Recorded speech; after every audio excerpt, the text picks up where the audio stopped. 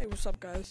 Today I'm gonna be showing you guys how to get zero gravity in the regular Capuchin game. There's no mods, right? I mean, I had someone call me a hacker before for this, but first thing you do, go to game modes and queues, and then you want to go to sandbox. So now that you're in, you have to follow very closely, right? You want to get to, oh, that's loud. One sec.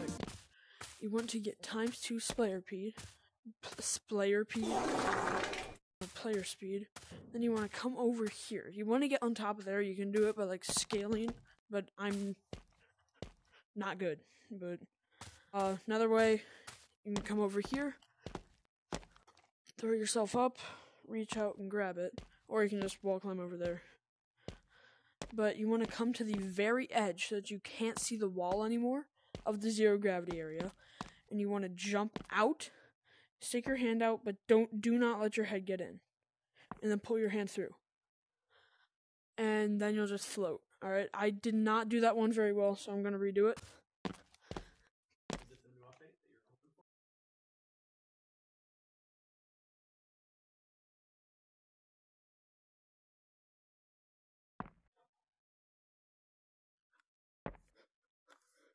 Nice, I did it. I did it.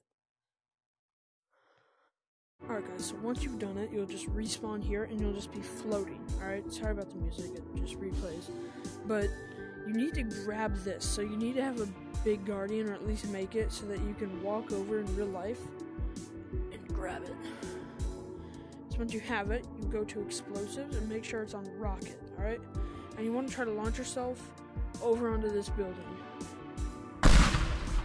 Doesn't matter if you go high, you just need to get down onto the ground. And now you want to press the go home button, alright?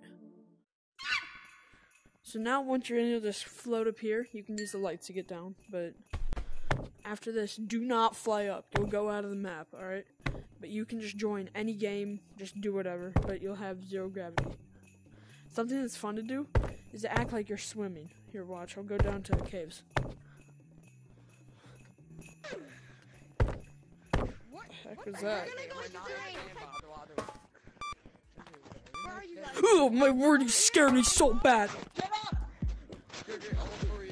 What the heck? I'm gonna get him. I'm gonna get him.